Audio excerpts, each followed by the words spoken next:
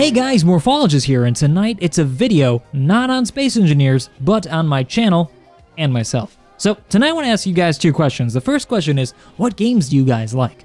I'm thinking about expanding. No, I'm actually very positive that I want to expand into new games on top of my Space Engineers content. So that'd be additional content, not content instead of Space Engineers. J- just to clarify, I love Space Engineers and I will not stop making content for it. But I've got a lot more games that I don't show content for because, well, let's face it, I'm a Space Engineers channel and you guys love Space Engineers. That's why you're here, right?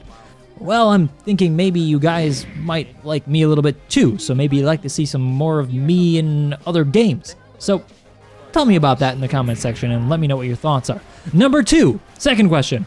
What do you guys think of live streaming? I've started a live stream account on Twitch that, if you didn't already know about, is in the description of the video. Now, the reason I've thought of doing a live stream is because I think it might be a great way for us to chat, like in person. While I'm making content and you guys are watching, you can ask me, hey, Morphologis, why are you doing that? How do you do that? What do you like? What's your favorite color? What food do you like? Any, any stuff like that. You know, you can ask me these questions immediately, and then I'll just, bam, respond.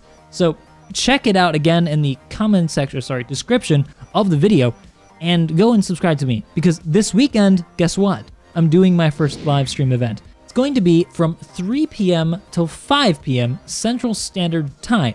And I'm going to be focusing on doing some Space Engineers building, and I'm not quite sure what I'm going to do with it. Maybe I'll do some duels or something. I'll also have some guests with me from the Space Engineer community that you may have heard of. I'm not going to say who yet, but you can probably guess by the other video that I put on my channel earlier. So that's all I've got for this time, guys. Thanks for watching, and I hope to see you guys this weekend. And if not, I'll see you next time.